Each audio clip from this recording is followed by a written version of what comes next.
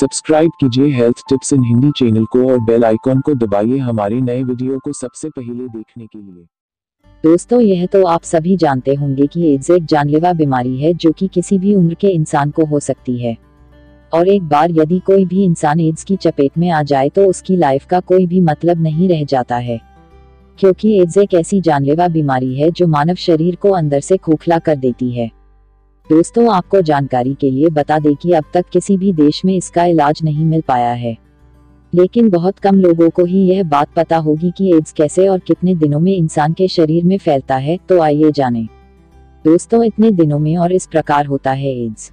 दोस्तों, दरअसल एड्स एक तरह का वायरस है। ज़रूरी नहीं कि यह किसी के साथ संबंध बनाने से फैले, अगर आपको किसी पुरानी सीरेंज से इंजेक्शन लगा दी।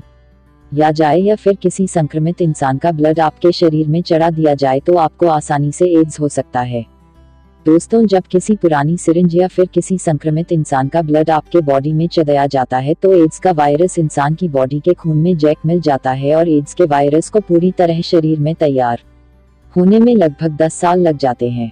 किसी किसी इंसान में शरीर में एड्स का वायरस जल्दी भी बन जाता है और किसी की बॉडी में 10 साल लग जाते हैं। इसका कारण यह है कि एड्स का वायरस बॉडी में उम्र के हिसाब से बनता है।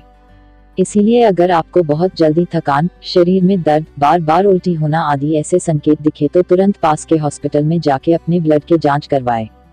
क्योंकि इस तरह के लक्षण एड्स के संकेत हो सकते हैं।